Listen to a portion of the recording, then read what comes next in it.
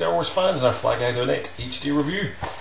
This figure is a little controversial. The brand new Bossk, uh, Bo- Bossk, Boss from Republic Commando Clone Wars. Um, got Bossk in the brain this week actually. I've been looking at three four figures. Anyway, Republic Commando Boss, uh, brand new and a little bit of a letdown, but I'll uh, I'll show you that in a minute. Um, so there's the packaging.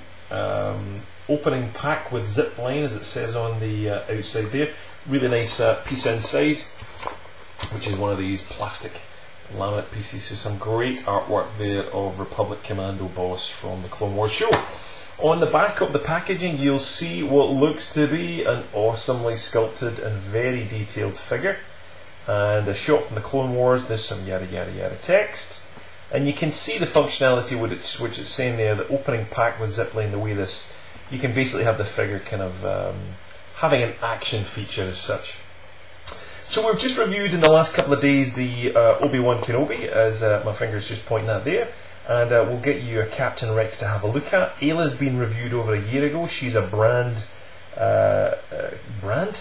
Completely not brand new actually. She's a repack, so uh, we've got a review that and you can get a look at that. So that's pretty much all the packaging.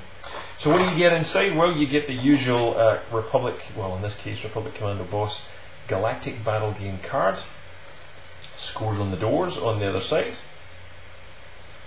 And one of these manuals telling you how to play the game. Oops. Life would not be complete without one of those. And also one Star Wars figure stand. Standard stuff, which we've seen many times before. So here we go one figure. Now at first glance, and let me give you a usual super, super high def, I'll zoom right into this guy, close up on this guy. Um, beautifully sculpted. It looks absolutely awesome. The detail that's on the uh, figure, you'll see there is just uh, looking immense. The paintwork looks good. We've got some cool markings on, the, on his hands, his glove. I'll take off this rather silly backpack and we'll look at that in a minute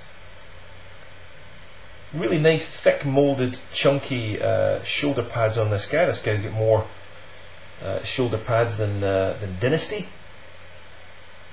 of the 80s, an old crappy TV show that probably none of you remember, but there we go. Um, this looks some really detailed paintwork, and uh, you look at the orange in the back of that helmet. It's just beautifully done. It's really well painted.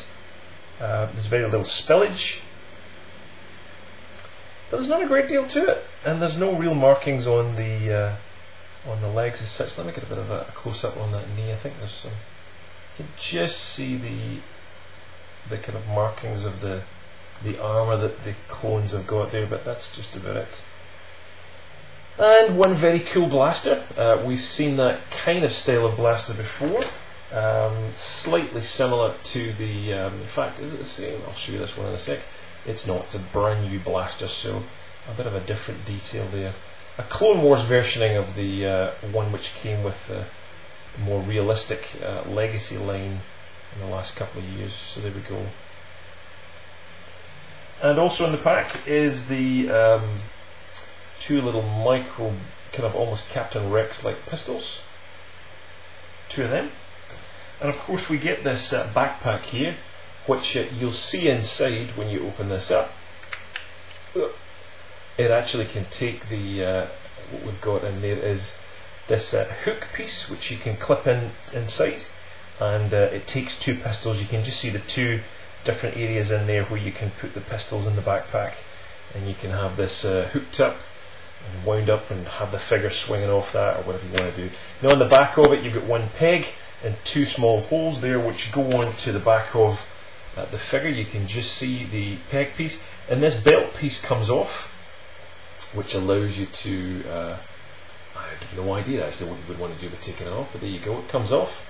And that allows that uh, belt piece to basically clip onto the backpack so look um, there we go that's the figure that's what it looks like with the backpack on um, the backpack itself is not bad. It's not the best looking because it's absolutely jai bloody enormous and uh, doesn't really fit the figure.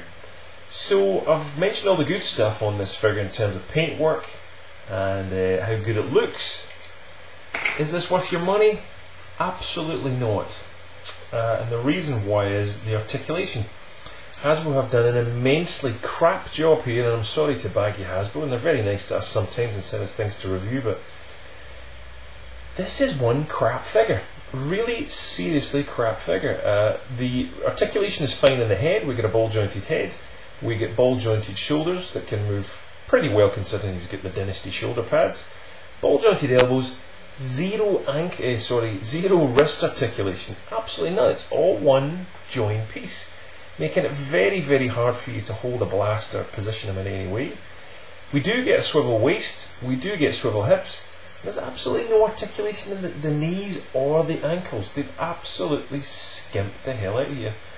Look, I, would rather they skimped it on some crap figure or something that's not likely going to sell, but this guy's going to fly off the shelves or until people begin to realise through reviews like this and friends of ours that this is not a good figure. This is really, really bad, Hasbro. $16 I paid for this here in Australia.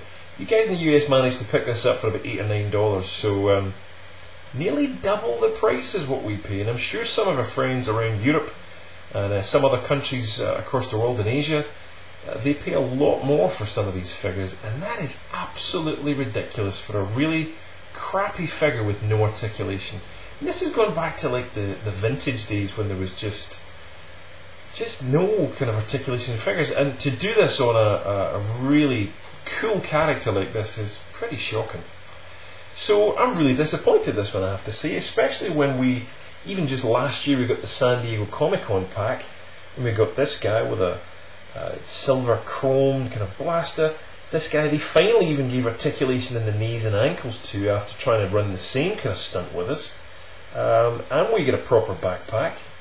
Uh, it's just, we're on this mass scale cheap out at the moment, and I'm sorry if I'm having a rant and a rave here, but this is the second figure in this wave. We just reviewed the Obi-Wan Kenobi the other night, and these are not good. These are really, really not good. Um, some of you may be okay with it, and the no articulation you can maybe live with, but it's not for me they don't become action figures if you can't do anything with them. If they just stand there, they're statues. And I'm not into collecting statues, so um, bit of a shame, Hasbro, real letdown, and especially on a core character. So if I was you, do not waste $16 on it, that's for sure. If you're in the States and you can only spend about 8 or $9 on it, well, fair enough. You've got a pretty cool looking figure, but don't expect to play or pose it. It's not going to do much. That's bit the most exciting stance he's going to get. So there you go. Really, as you can tell, I'm a little depressed about this one. It's just not good. But uh, let us know what you think. Uh, am I just a complete uh, clone freak and I'm just depressed and sad because uh, I'm not getting the articulation I want? Let me know. By all means, rant and rave. Leave a comment below or on facebook.com slash flyguy.net and let us know what you think. And uh, if you want to see some more figures just above uh, Boss's head, give us a, a subscribe and you'll get lots more of me ranting about figures and you'll get to see some other cool stuff we've got coming up. Thanks for your time. Cheers.